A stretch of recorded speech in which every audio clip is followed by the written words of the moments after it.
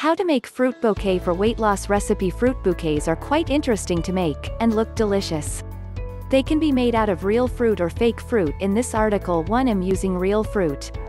If you decide to use real fruit then be aware that the bouquet will have to be eaten in a few days, otherwise the fruit will rot. You can use all sorts of different fruits, from apples to apricots, to peaches.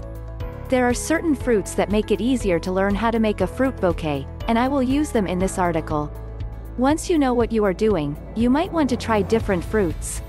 You will need 7 large plums, 11 strawberries, 15 large leaves, 5 small rosebud heads, cellophane, 4 feet of ribbon, thick, semi-thick, and thin gauge wire, stem tape, Step 1 Prepare the fruit. Remove any stems or stickers from the fruit, and clean if needed. Step 2 Prepare the cellophane. Cut squares out of the cellophane to wrap the plums in. The squares don't have to be too big, just big enough to encase the plum entirely. Twist the cellophane around the plum. Step 3 Wire the plums. Wire the plums, using thick gauge wire. Step 4 Tape the wire. Tape the wire. The plums should now look a little like a toffee apple on a white stick. Step 5 Prepare the strawberries. Remove the leaves from the top of the strawberries, and then prepare them the same as the plums. Use the same size squares of cellophane as before.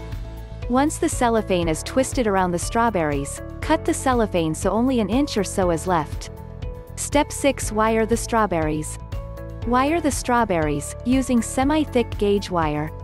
The wire needs to be near the larger end of the strawberry, so the pointy end of the strawberry will be seen in the bouquet. Make sure you are gentle with the strawberries, as they are quite squishy. Step 7 Prepare the leaves. Wire and tape the leaves using thin gauge wire. Step 8 Shape the fruit bouquet. Assemble everything into a posy shape. Do this by holding the plums in a bunch, using two hands. Fan everything out slightly. Insert leaves between the plums. Add the strawberries and the roses.